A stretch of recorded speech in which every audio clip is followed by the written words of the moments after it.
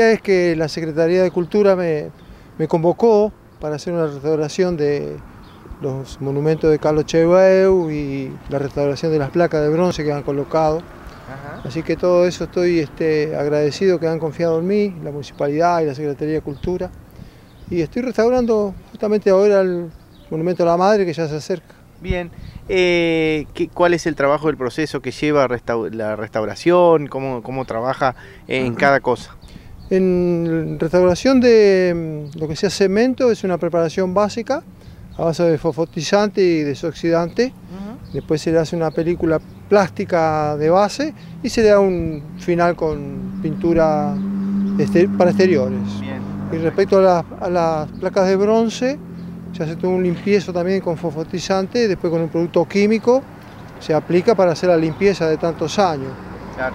Con el- la precaución de las placas de bronce que hay que tener mucho cuidado, una técnica, porque donde se pasa se queda rosada la, la placa Ah, y claro. se pierde. Bien, bien. Sí, sí, ¿Y qué duración tiene o, o qué se recomienda de, de- de estos monumentos, las placas?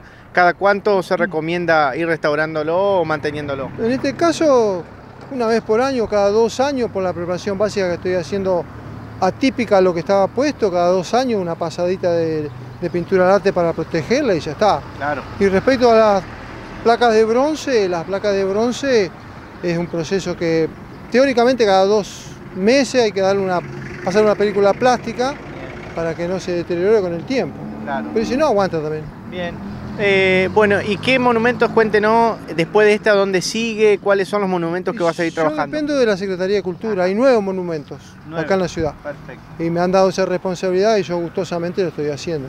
Cumpliendo con un mandato de mi tío Jesús que una vez me dijo, si la ciudad te necesita tenés que colaborar, porque vos sos hijo de Basair Vaso. Y efectivamente se me dio y estoy cumpliendo con el mandato de mi tío Jesús. Qué bueno. Bueno, felicitaciones, lo dejamos seguir trabajando. Gracias, muy Eh, Se está amable. embelleciendo muy lindo lo que vemos. Eh, ¿Cuánto tiempo de duración tiene más o menos cada restauración? Y cada restauración lleva unas 16 horas de aplicación. Ah, bien, Sí, sí, y aparte la ciudad está quedando muy bonita con, con los jardines, con los parques, un poco de ordenamiento del tráfico también, así que bueno. esto es un conjunto de cosas.